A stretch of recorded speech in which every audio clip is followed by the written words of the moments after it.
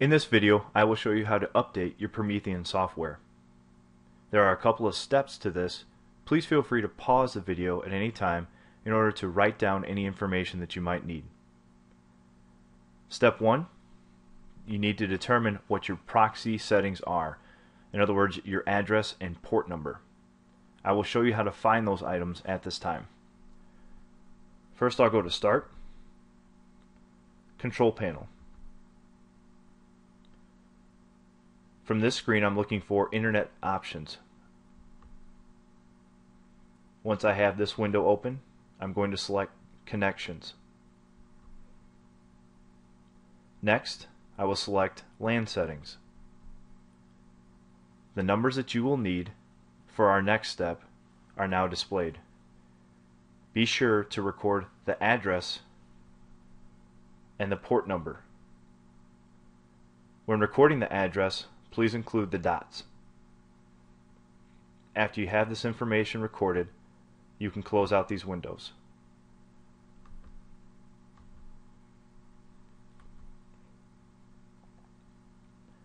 Next, open up ActivInspire.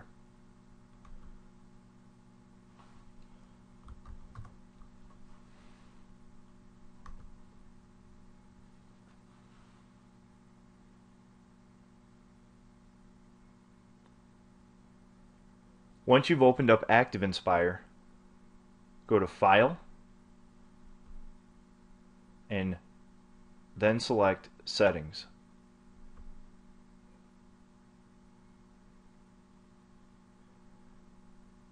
Select the Settings tab, then select Online Settings.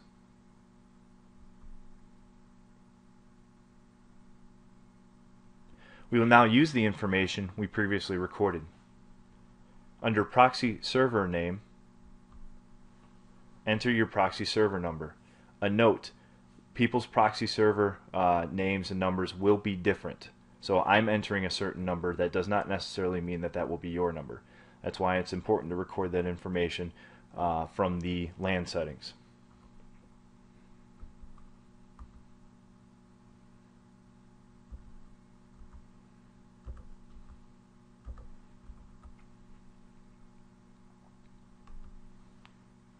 Enter the address into the proxy server name.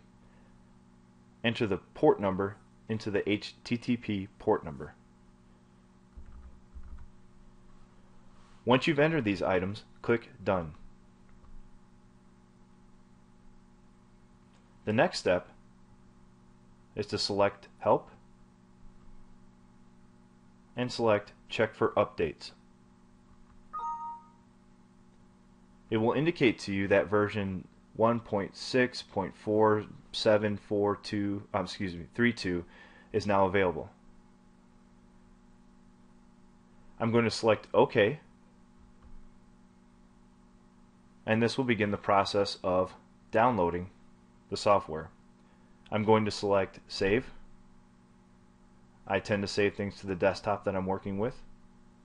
So I select Desktop and I click Save.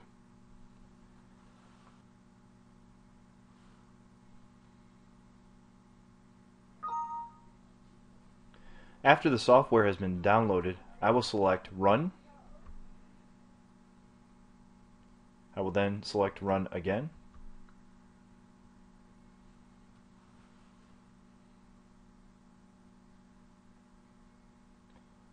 At this time, ActivInspire will begin to update to the most recent version.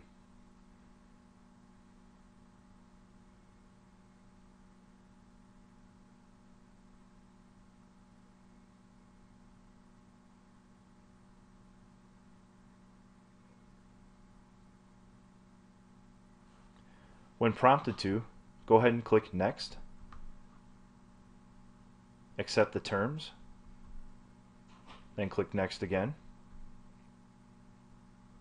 We don't need to change anything here. I'm going to go ahead and click Next again and install.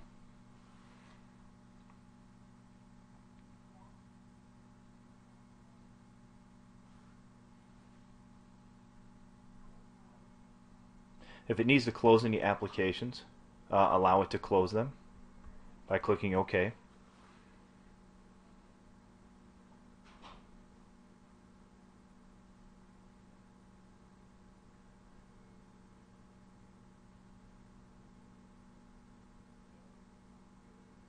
When prompted to, select Finish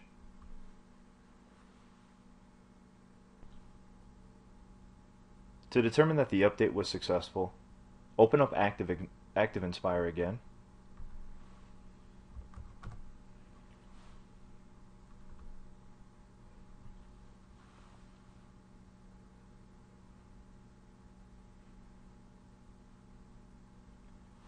And when it's open, select Help and select Check for Updates. If the software tells you the update check was successful, you have the, the latest version, you're all set.